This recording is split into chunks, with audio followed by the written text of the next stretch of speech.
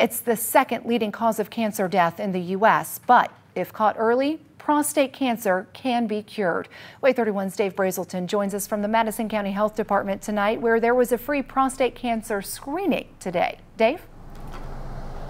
That's right, Marie. The Urology Health Foundation held a free cancer screening for prostate cancer right here at the Madison County Health Center in Huntsville. Men in the area were screened at no charge. There are no noticeable symptoms of prostate cancer in the early stages. However, if a man waits to act, the cancer may have already grown outside the prostate and have progressed to a point where it's really curable.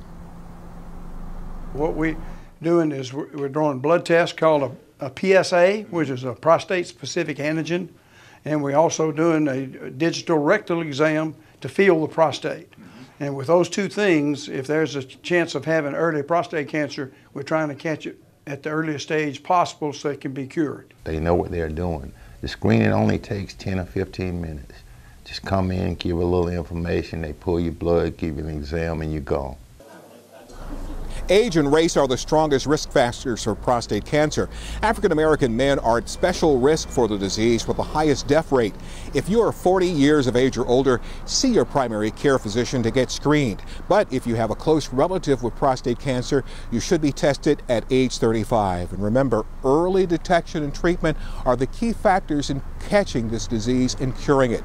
Reporting from the Madison County Health Department, Dave Brazelton, WAAY 31 News.